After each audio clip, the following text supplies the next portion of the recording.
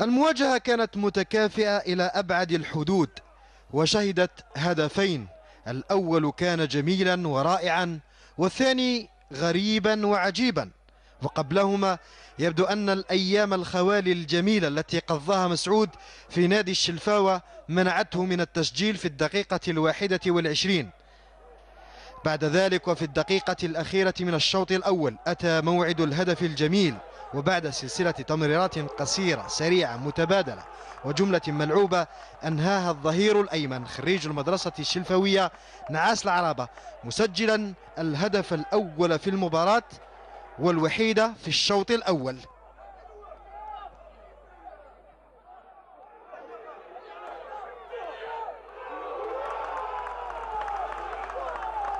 الشوط الأول الذي أضاع في أنفاسه الأخيرة برحلة بعد أن علت رأسيته الإطار من كرة ثابتة.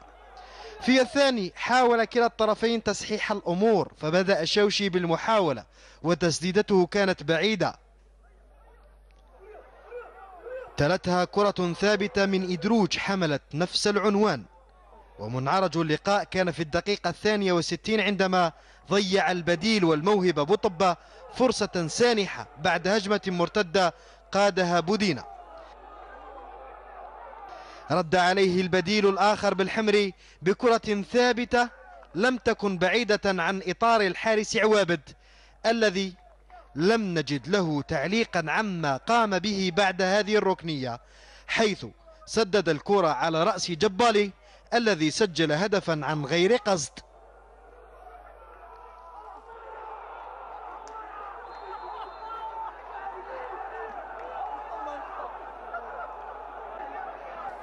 أيحسب الهدف للحارس أم للمهاجم الذي سجل من حيث لا يحتسب؟